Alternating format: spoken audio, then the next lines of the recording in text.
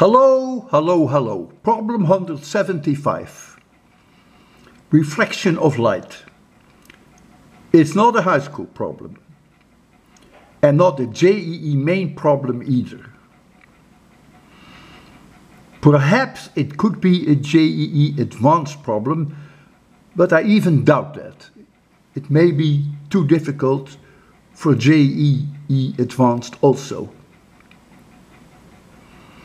Unpolarized light with a wavelength of 500 nanometers in air is incident on a plate of glass. The angle of incidence is 40 degrees. Just to remind you what the angle of incidence is, this is the angle between the direction of incoming light and the normal to the glass. The index of refraction of the glass is 1.5. First question, which fraction of the incoming light is reflected off the front surface of the glass?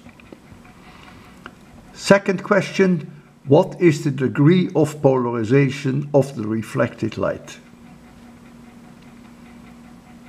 Don't feel bad if you can't do this problem most of my viewers will not be able to do this problem.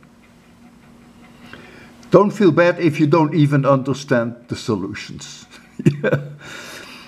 Keep in mind that the strongest conservation law in physics is always that we will be friends. And that will never change.